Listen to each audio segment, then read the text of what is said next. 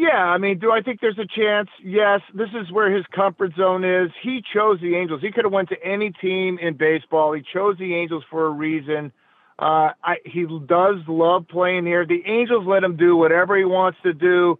Uh, that's a comforting thing. He, you know, he, he has a lot of freedom here that I don't know if he'll get that with other ball clubs.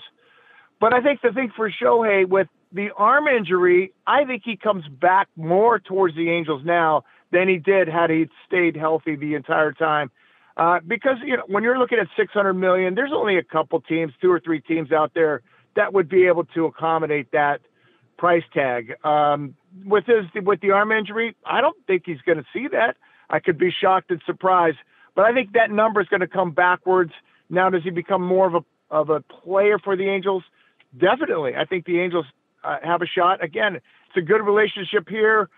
Shohei can see he sees big picture. He's been here. He understands that it's it hasn't because, been because of the lack of effort for this ball club to win.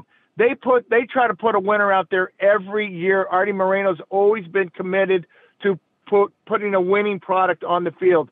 When you have massive injuries to your aircraft carriers, when they start going down, you're in trouble. You you are you, you, you can look at almost any team and you take their two best players off, the chances of them getting to where they want to go really uh, decrease quickly. So uh, I think Shohei sees that and knows that hey man, with Rendon in there, with the healthy Trout, obviously with him in this lineup, Taylor Ward was such a key guy for this team that went down also.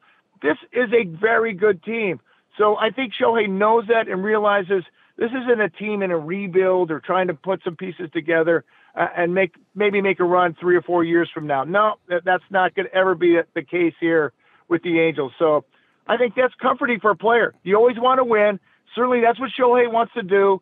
Uh, there's not a player out there that doesn't put a uniform on that doesn't want that and achieve the goals that a lot of these teams are going to start with next week when postseason starts.